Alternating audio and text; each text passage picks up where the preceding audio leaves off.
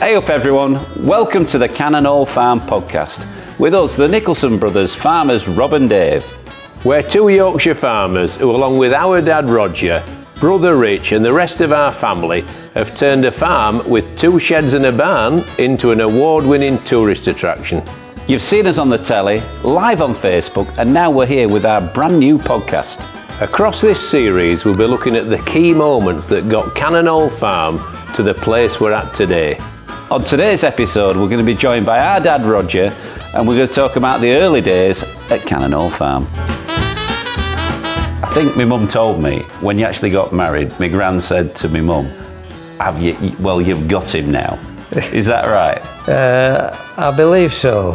In other words, look after him. Yeah.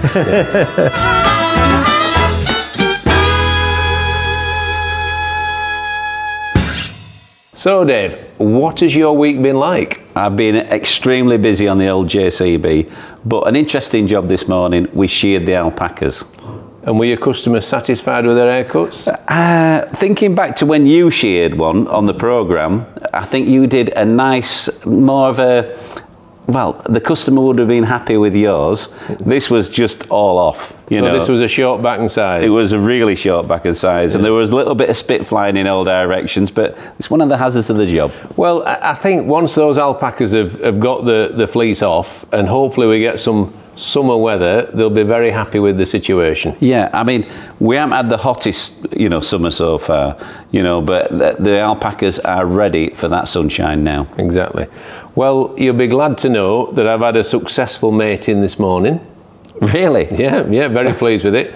Uh, Ozzy Osbourne Oh. uh, was was the uh, was the person we're talking about, uh, and it's it's really pleasing to say we're expecting another fall next year, hopefully. Well, I'm glad you put that into context. Yeah, so we, we've mated um, a miniature donkey. Yeah. We've mated some uh, some some cows with a bull, and now a Shetland pony as well. So next year's springtime is looking assured. Well, you've got to plan a year ahead, don't you? If you want animals in at the springtime, you know, especially if we're filming or not, we need to be prepared.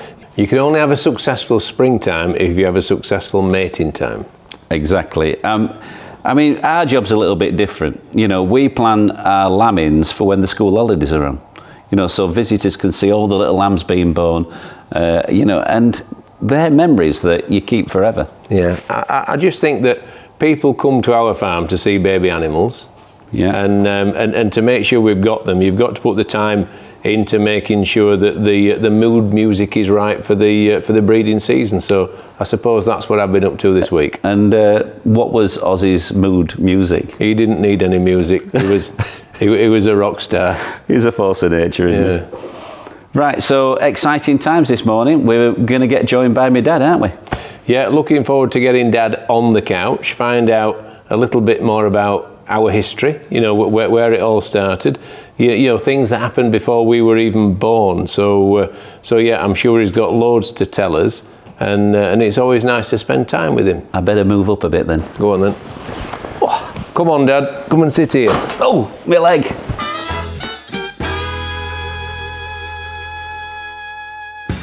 For those that don't already know, we're delighted to be joined on the couch by our dad, Farmer Roger, the legend that is. Dad? Thank you. Do you want me to reply to that? No. Yeah. Right, Dad, Yeah. we're here today to talk about your arrival at Cannon Hall Farm. Cast yourself back to 1958. The farm was bought at auction, which I can only imagine was a, a, a very exciting day. What are your memories of that day? Well, I wish I could cast myself back to that that time and, and do it all again, but I can't do that. So, uh, yeah, that, it was a big day. It was all, it was a sale day, and uh, I had to go to school, not thinking a lot about school. Boo. not thinking a lot about school and uh, looking towards a, a quarter to four when the bell would go and I'd be dashing down into Barnsley to find out what had happened. And this is obviously pre-mobile phones. Everyone now is so connected, aren't they? You, you know exactly what's happening elsewhere in the world, but but then you know an ordinary telephone was was something that wasn't taken for granted. No, no, I, I was completely in the dark about uh, whether we got the farm or not. So I set off at a, a great pace down from the school into Barnsley. And you were at Barnsley Grammar School. I was at Barnsley Grammar School, yeah. So And where, you- where did you head then, Dad? Straight down, just past the town hall to where there was a, a little barber's on the on the on the roadside, and that's where I'd organised to meet my father. Had you actually already been round the farm for a good look round? Oh, we've been we've been at least half a dozen times, Right. at least, yeah. You've gone round every field. We'd had a good look. We'd had, and uh, every every time we went, it was a, a another little magical moment. So uh, So you were keen to get it. I was particularly keen to get it because it was a big change from where we were at Worsbrough Dale. I mean, Worsbrough Dale had been a really happy place for me. I'd, I'd, I'd had a really happy childhood, and uh, uh, but this was something different. Uh, the buildings were so much different. It was like a, an adventure just looking around them. The, the word adventure just sprung into my mind then. It must have been a magical, a, a magical thing to, to experience and to go through. Well, it, it, it was, and so uh, down I ran from uh, from school to to find out, and uh, my father's face was, you know, non-committal. did he have a poker face? uh, I don't know about that. or do you think he was just worried that he'd spent too much money?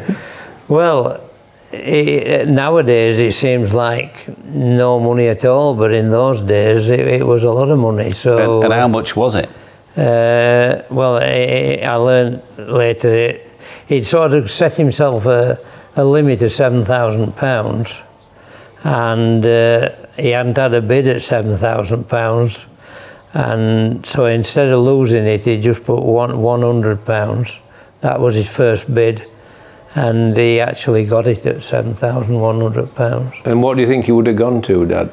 Was that the limit or? Well, I think he'd gone past his limit, and uh, I'm not sure. He, he, he was a little bit of a gambler, uh, and he might have gone again. You never know, but he never told me that. And, and do you think that I get some of my auction fever from him? I, I think you definitely do. Because if I get to an auction, Oh yeah, I literally, I, I like to come away winning, and, and my dad's there with his head in his hands, and oh, that's enough I'm now. nearly, that's I'm enough. nearly to get my arms around him and stop him sometimes. And uh, I'll come home and I'll say, Dad, I've won again. you, you, you- you know what? We, we went to that Swiss Valais sale, Rob, right? Yeah. And uh, and he kept on looking at me, and I kept on shaking my hand and said, "Don't you buy kept- it." kept on right? Because it, it was like it was it was a lot of money. we were that- trying to buy ram. a champion ram, though, weren't we? We were, but it, it came at a cost. Hmm. And we know that the people that bought it afterwards, they bought it, there was about five different farmers, weren't they, bought it Hmm. together. And we wouldn't have beaten them, Right. you know. And and if we had, it'd have been an awful lot of money. but we did make them pay for the privilege. And we, you, we did. you don't, you don't risk it though to run them up. Well, in the end, we went to Sweden, didn't we? And we bought a fine ram, and he's done us a proud, you know, a really good job. Yeah. But I know what he's like. I've seen him bidding. Yeah, yeah. And he's terrible. So I've obviously got the genes of my grandfather in terms of auction fever. So take us back then, Dad. You, you met him at the barber's. Did you have a haircut? I don't think I was in haircut mode. Or was it just something for the weekend? sir? He would not in the no no no. How old were you, Dad? How old were you? I was 15 years old. Oh, well, you get in there, aren't you? Yeah, yeah, get in there. So uh, no, I, I, don't, I don't remember having a, a haircut at all. But So why did you meet at the barber's Well, the barber's he was a my father was a Rotarian Oh, was his pal? and he was his friend. Yes, so uh, and a good friend as well. So that's that's why that's why it happened. So w- when did he? Was he the man from Del Monte? Did, did he say yes? He said yeah. Then well, he said yeah fairly quickly. Oh, good. Yeah, Yeah. he didn't help, help me in. And, uh, and how long then before you shot down to Cannon Hall Farm to have a look round? That day? No, because it it soon be dark. All right. Yeah, what time of year was it? Well, it, it was April. Right. Yeah, it it was it wasn't a time when it was so light. So uh, I'm not sure by the, whether the next day was the the day we went, but uh, in the near future, I was up at Cannon Hall Farm many many times, just looking round, uh, deciding little things what we were going to do and things like that. But after that, you see, they had to have a sale So All uh, right. So you didn't. So then you got the chance to buy the Equipment. the, and- the- Yes. the, content yes, sort of. right? yeah, yeah. They they always give the the incoming uh, owner a chance to uh, to buy some of the At, at equipment. auction or agreed by Yeah, private at auction, treaty, right? uh, yeah. And had the museum already, the, the big house, had that already been sold at that point? It had already been sold about uh, six years earlier, I think. Something Right. like So, that. so Canada, uh, so the Barnsley Council were already running it as a public park. Yes, they were. all- Well, I don't think they'd done a lot towards it, but uh, it takes them a while to get into motion, sort of. Yeah. So, A few meetings down the line. yeah, yeah. So we're, we're at a point now where you bought it at auction, very exciting. How did you? How did your dad feel about it afterwards? You know, once once you got that realization, you know, did you did you set to deciding what you were growing in each field? Did you have plans for for, for the for the dairy herd? You know, what what, Yeah. what were your next projects? Well, well, that's stepping forward a, a bit quickly because in the next day, the, the person who must have been the last bidder had had second thoughts about it, and he he came in and tried to uh, offer my father a little bit of profit. I think. It How won't- much It won't be much. I don't know. Uh, for him to take it over, and my father then, I mean, take it uh, he wasn't a well man. He'd been advised not to go into business again by the doctor, and so uh, it made him think about it. Had he had he gone too far? Uh, and so there was a little bit of doubt as to whether he might sell it again. so really, then you you got it, and then you were in danger of not having it. Not having it, yeah, yeah.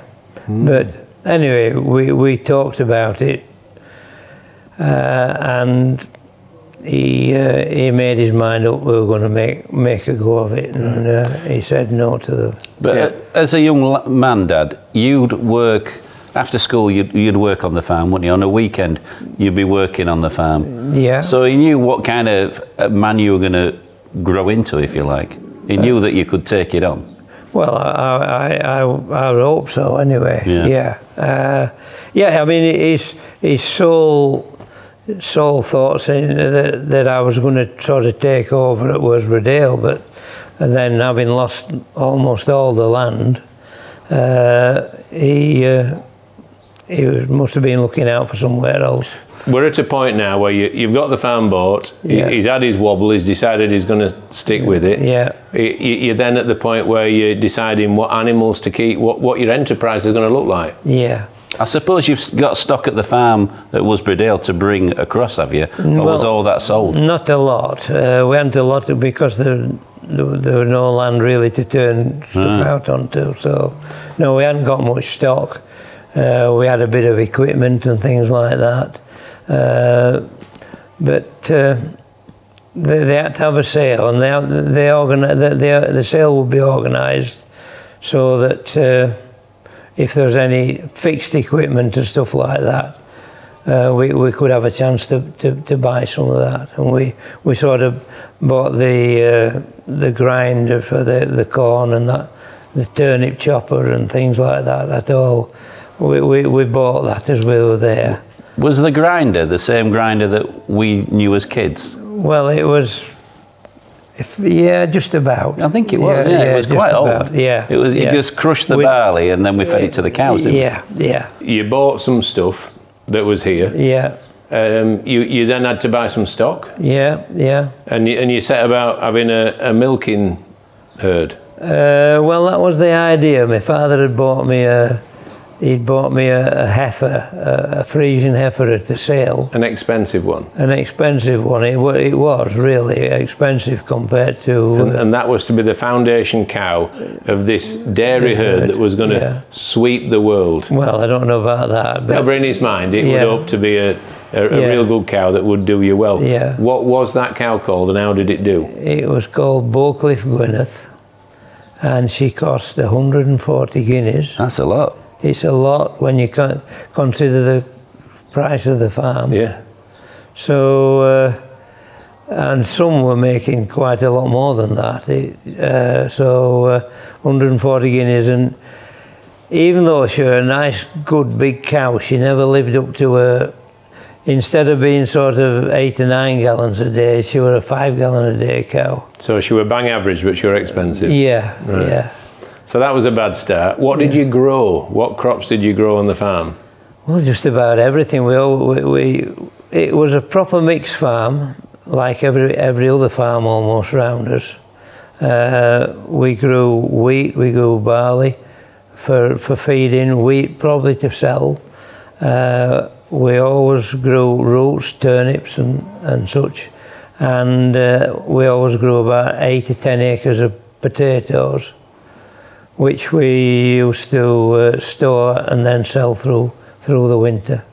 And you'd sell those to people who came here to buy them, or did you have a round, or did you sell them to a merchant? fish and chip shops and things like Oh, that. But I mean, the, the going back further, back to to Worsbrough Dale, uh, my father used to grow potatoes there, so I was well well used to uh, uh, growing potatoes, and uh, he used to go around Bank End Estate, which was there when we were there. I would imagine that would have been part of Bank End Farm at one time. So you'd made an exciting, strong start at Cannon Hall Farm. Things were all going well, and then the, you had the hammer blow of losing your dad. Yeah, that, it was uh, a hammer, a hammer blow indeed, yeah. Yeah, I was still at school uh, and I came came home from school and uh, I was met at the bus because I usually walked home uh,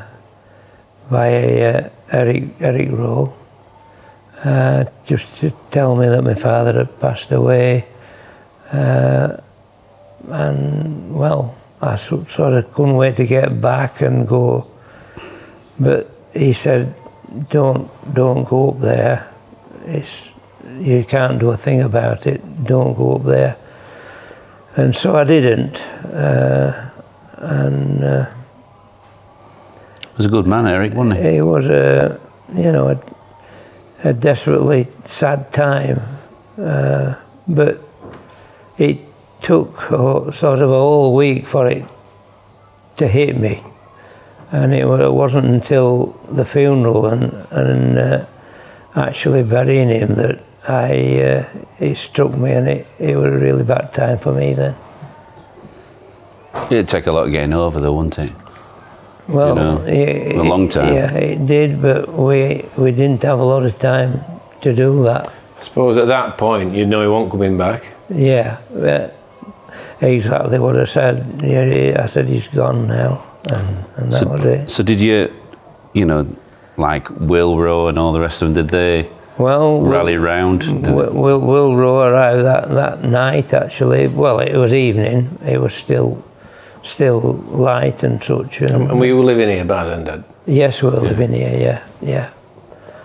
Uh, uh, and and and you know, he said anything you want doing, just call me.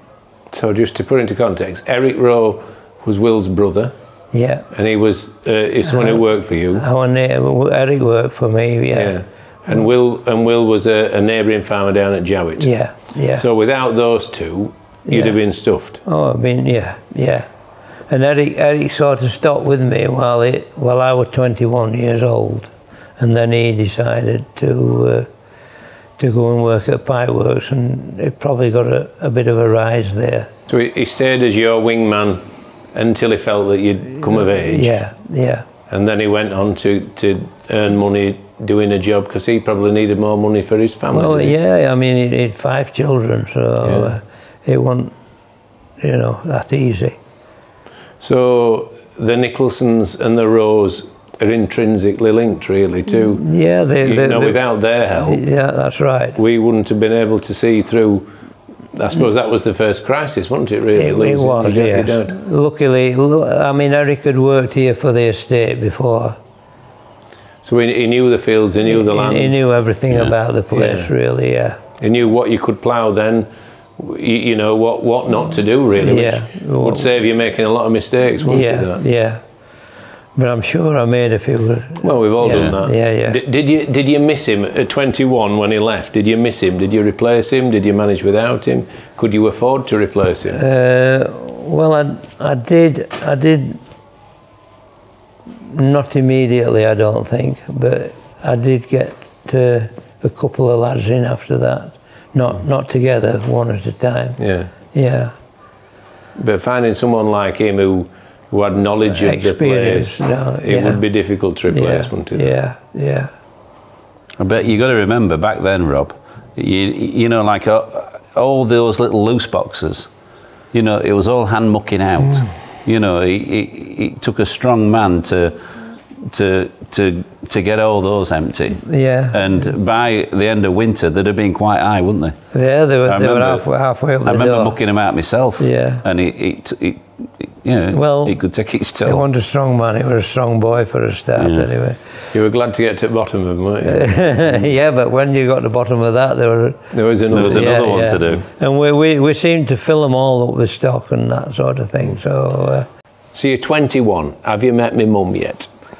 oh yes, I'd, uh, I'd already met your mum when uh, I was no, almost 19. But you didn't marry her by 21. No, How old were you? uh, 22, I think. So you were courting strongly at 21. Yeah, She knew was the, you knew she was the girl for you. I did by then, yes. And who lived at the farm at that point? Did any of your sisters live here still? Or were they all no, married no, off? no, just my mother and me, that's all. Oh, okay. Yeah. So uh, was me, was me gran a tough nut for my mother to crack? Absolutely. yeah, well, I remember. she, she was a strong woman, wasn't she? Uh, she was, yeah, and uh, She thought a lot of you, didn't she? she, yeah, absolutely. Uh, I don't think anybody would have been uh, Just the perfect. right one for her, really. and, and was that a stress to you? The, was it was it so difficult to manage, or did you did you find yourself having to, you know, coax her along in that Were direction? you a referee? well, it, it, it was just a gradual process, Yeah. and uh, I mean, she wasn't she wasn't awful or nasty to her, but No. but to just accept that uh, somebody was the right person was, was a high difficult bar. for her. I think my mum told me when you actually got married, my gran said to my mum, "Have you? Well, you've got him now." Is that right? Uh, I believe so. I'm not. I'm not. I, I didn't But hear it, that. it wasn't necessarily said in a. you know, No. it could just be, well, you've got him You've now. got him now. Yeah, okay. yeah. So, in other words, look after him. Yeah. yeah.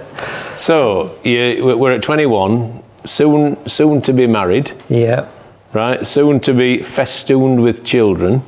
absolutely. So you've, you've had to grow up fairly quickly, haven't you? Uh, yeah, I, I was growing up pretty quickly. All my life, I think. Really, Yeah. I was a bit. I was a bit in front of my time Right. from that point of view. Yeah. And how was the farm going at this time? Uh, you know, what, what, were- what were the enterprises that you were you were running then? Well, we were, we were still virtually where we were when we started, with something of everything. I was selling all, all my sort of produce, my lambs at, at Barnsley Market, my cattle at Barnsley Market. That was the way that things were done then. And later on, we thought, well, there must be better ways than, than, than that. Uh, and we devised better ways than that, but that was something for the future, really. right. But, we, but were, you, were you making a living at this point? we were making a living to live, uh, to eat, and, and that sort of thing. But there was nothing extra to keep the place in good order. And that's quite important as you go on in life. You do need to be making that little bit extra so that you can do those repairs and renewals and things that you need to do to progress. So every time you ran into something with a tractor, it didn't always get mended again quickly. And Well, I, I waited for uh, for my kids to do that later on. right, I think- so you, you, you're going nicely. You're 21.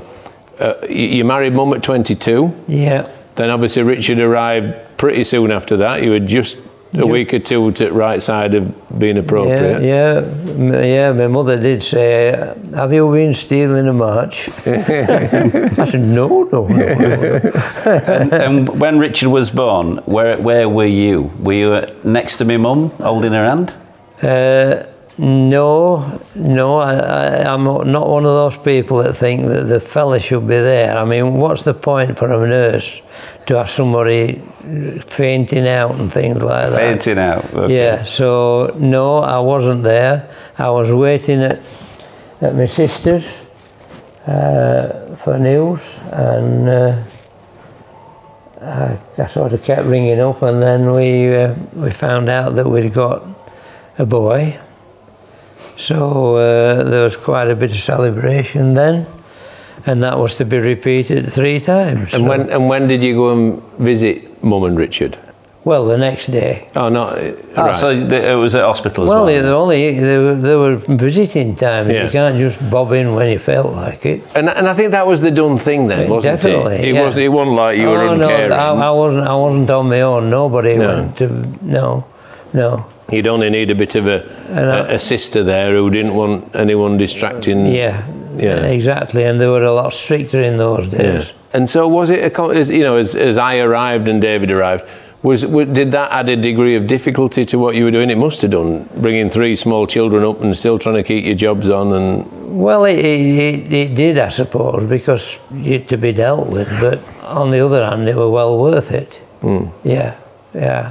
So I Rob- always, I always felt uh, that uh, having having kids were really a, a great thing to do, and uh, never regretted. So were you born in hospital, Rob?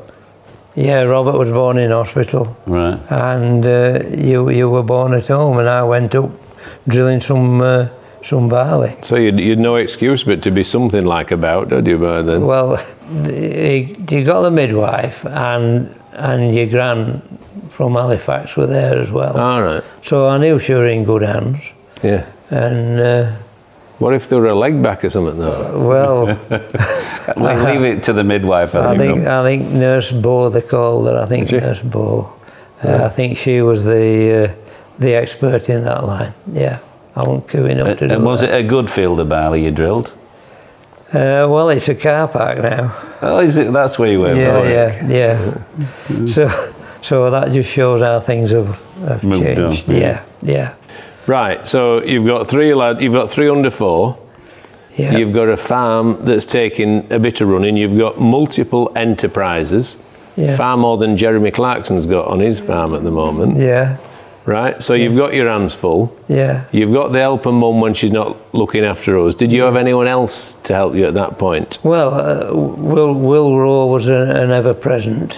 I mean, uh, he, he had a he had a, a combine, and, and Eric Ellis had a combine, so we weren't sort of short of that. But that first, the first year, uh, we it was a binder, and because we we we made it in the old-fashioned way. So the first year that you were married, I've, I've heard mum No, talk not, about not, this. not married, but no, the first year you were married. oh yes, Right? yeah, that, I've heard mum talk about uh, you, the the, was the second- harvest was so late. Second of October, we'd arranged it so that all the harvest would be over, and we hadn't even started. And it was the fields of barley were black, and when the, when the combine went in, the clouds of dust were tremendous. It was, So you were lucky to get a window of weather to get it harvested at, yeah, at that we, point, we, weren't we you? were, and I got flu as well. So you got flu, retired to bed, and my mother were left on binder with Eric Ellis getting harvesting. Well, Ted came over as well. Uncle Ted, mum's brother. Yeah. Uh, It's, a, it's a wonder she didn't go back with him. Well, so the job uh, had to be done, didn't it? Yeah, it did. Yeah, and uh, I think it was all that dust that did me in, really. Was it? Yeah, but everybody else managed to uh, right. to last it out. Yeah. On the previous episode, we've talked about opening the farm to the public to make ends meet because we were in a financial crisis. How far into that crisis were we at this point, Dad? Uh, well, it was just a, a struggle. We were still still living within our means, but nothing extra. Uh, the bank manager was getting a, a little bit impatient as well at that Was stage. Yeah, How often did you meet the bank manager? too often. No, but how often? You weren't firm friends then. No, well, there's, some I got on pretty well with, some I didn't really. But, Right. uh, But was it an annual thing? Was it more uh, often than usually that? had an annual visit. Yeah, Yeah. yeah. Did they come to the farm then? Uh, no, I went to them unfortunately. Yeah, yeah. Hmm. Did it feel like going back to school? Uh, Something like that, yeah. Uh, it, it was a it was a difficult time, but uh, well, we we managed and we were determined as well. We were determined to see see it through. Uh, so at that at that point, there was no sort of thinking, well, we're not going to we're not to really make it, but doubts were there a bit. So th- things like, you know, we, we didn't go on many holidays. We, we, we always we always had a good table, as my grandma used to say. right, we always we always ate well, but Yeah. but there, there wasn't money for for reinvestment in the in the farm in the way of equipment. There, there wasn't money for, for fancy holidays or or fancy cars. No. So we were just just bubbling along the, the surface, but not Yeah. really prospering. We kind of we went to the seaside for two or three days, didn't we? Yeah, well, you, you went twice actually. You Yeah. went you went once with me and once with your mum. Yeah. Uh, and, Mum and Rosemary. Rosemary went along, and uh, you probably had a, a really good time in the rock pools and whatever. And, and that's because the farm couldn't be left on its own. Yeah, One of you right. had to stay. So, Yeah, sure, so a yeah. family holiday away was Yeah. difficult to achieve. I remember once we went to Torquay. yeah. You must have left someone in charge well, then. uh, I can't remember who, who was in charge actually. I think Brian was working. Brian, for maybe with the help of Nigel. Uh, something like that. Mm. Yeah, and and they had a burst. They rang up to say that a, a pipe had burst. Did they? Yeah, And where which was it? didn't. It was it was the old one from the uh, from the pond.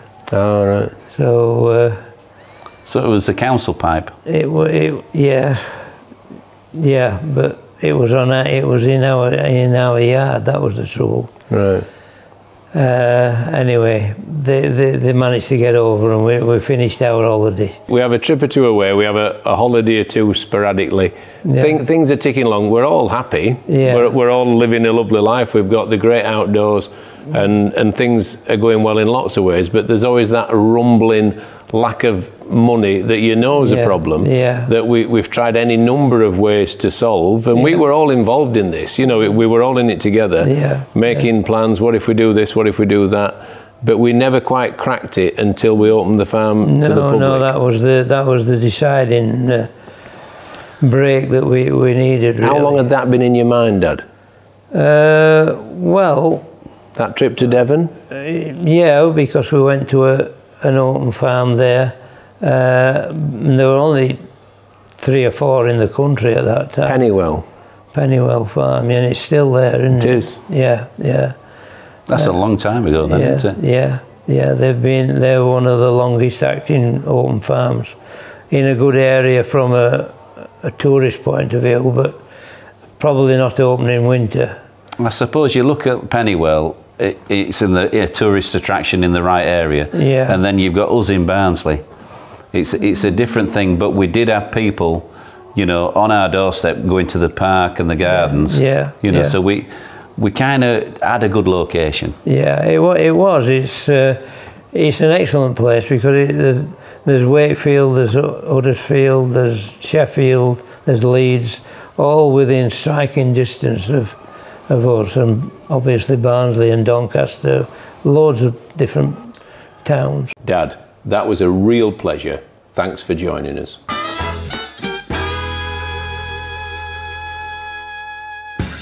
Thanks for listening to this episode of the Cannon Hall Farm podcast. We'll be back next time to talk about another important moment from the history of Cannon Hall Farm. And don't forget, follow us on Facebook and you'll get daily videos of everything that's happening on our family farm. And also follow us on your podcast provider and leave us a rating. Go on, give us five stars if you possibly can. We'll be back next time, but until then, I've been Farmer Rob. I've been Farmer Dave. And we'd like to say a big goodbye. See ya. Bye bye. There's nothing in this.